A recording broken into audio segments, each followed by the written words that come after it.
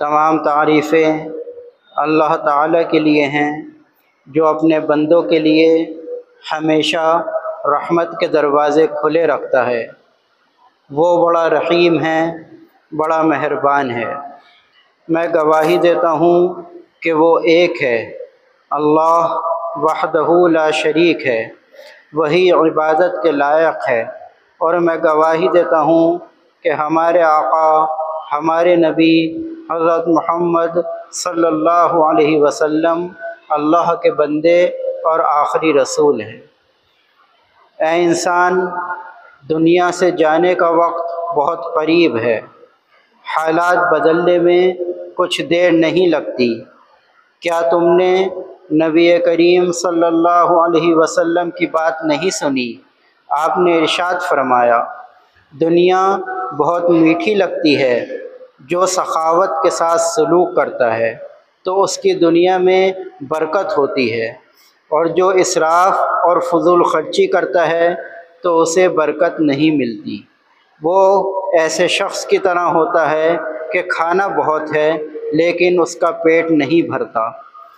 اے انسان، دنیا کب تک تجھے بہکاتی رہے گی اور تو غافل رہے گا۔ آخرت کی تیاری کر، نیک اعمال کرو۔ جب آخر وقت ہوگا، نزا کا عالم ہوگا، تب کچھ بھی کام نہیں آئے گا، کوئی بہانہ نہیں چلے گا۔ مرنے کے بعد ہر چیز کا حساب و کتاب ہوگا۔ دنیا میں کسی پر ظلم نہ کرو، کسی کا حق نہ کھاؤ۔ آخرت میں ظالموں سے مظلوم اپنا حق مانگیں گے۔ کوئی داڑھی پکڑ کر لٹکا ہوگا کوئی برد کوئی گردن پکڑ کر ظالم کی کھینچے گا، کوئی ظالم کا سر پکڑے ہوگا، کوئی کمر سے پکڑ کر ظالم کو کھینچے گا، کوئی ہاتھ پکڑ کر گھسیٹتا ہوگا، کوئی پیر پکڑ کر گھسیٹے گا۔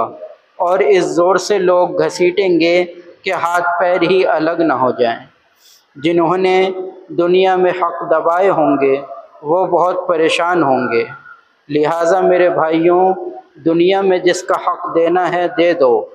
ہر وقت اللہ تعالی سے دعا کرو کہ اے اللہ، ہمیں قیامت کے دن کی پکڑ سے بچا لے، ہمیں جہنم کے عذاب سے بچا لے، ہمیں نیک اعمال کی توفیق دے دے۔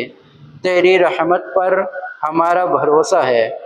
اللہ کی پناہ مانگتا ہوں شیطان مردوس سے۔